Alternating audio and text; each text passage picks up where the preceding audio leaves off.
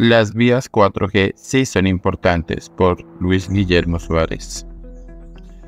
Otro indeseable para Medellín y para Antioquia, por ser un tránsfuga como lo es Daniel Quintero, porque abandonó la alcaldía tres meses antes y dejó como encargado a otro compinche sus negocios en el suroeste antioqueño. Quiso hacerse sentir al anunciar a voces su aporte a la vaca, muy distinto a lo que los antioqueños acostumbramos, hacer bien y no digas a quién. La vaca promovida por el gobernador Rendón está dirigida a cubrir los dineros que faltan para concluir el túnel del Toyo y sus vías de acceso. Pero también falta terminar las concesiones Pacífico 1. Esta porque la ANI aún no autoriza poner el funcionamiento algunos tramos que están listos y la 3 de la Virginia a la Feliza, porque la 2 ya está terminada.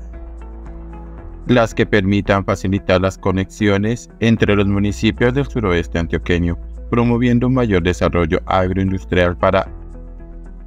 acercar los productos del campo a los centros de consumo y también permitirán llegar al sur del país y al puerto de Buenaventura, que es la ventana hacia el Pacífico, logrando menos tiempo y menores costos de transporte y consumo de combustible que tanto preocupa a Gustavo Petro.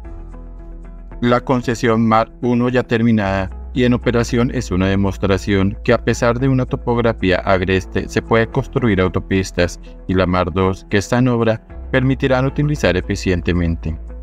Puerto Antioquia, que hoy se construye con aportes del sector privado y que permitirá reducir entre 2 y 3 horas la llegada al mar, fomentando el turismo del Urabá, disminuyendo así costos de transporte desde esa zona al interior del país y a Bogotá. También se beneficiará toda la costa colombiana al poder conectar a Turbo con la troncal del Caribe cuyo tramo en Antioquia es casi intransitable, en especial en invierno. Las concesiones Vías del Luz y la del Magdalena que conectan los municipios del nordeste con el río Magdalena, con el Mar Caribe y las ciudades de la costa norte también posibilitarán el desarrollo de Puerto Berrío como sitio estratégico para el asentamiento industrial y como medio de comunicación fluvial por el río Magdalena siendo este un punto que se debe mirar como eje importante para Antioquia y el país. El desarrollo se logra con medios de comunicación ágiles como lo son las vías 4G, pero también se incluyen las carreteras secundarias, terciarias y los caminos vecinales, porque todo ese entramado vial es un importante factor del desarrollo del país. Para todos estos proyectos debe existir desde el gobierno un trabajo permanente y de largo plazo con personas técnicas y conocedoras de las necesidades de la nación, distinto a lo que ha hecho el presidente Petro, colocando políticos de su confianza cuando lo que se requiere es una clara y responsable planeación del país.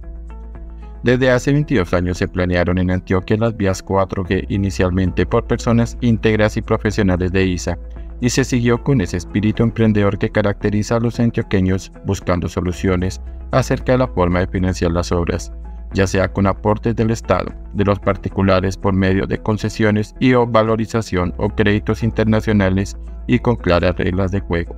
vinculando a las comunidades de todos esos territorios.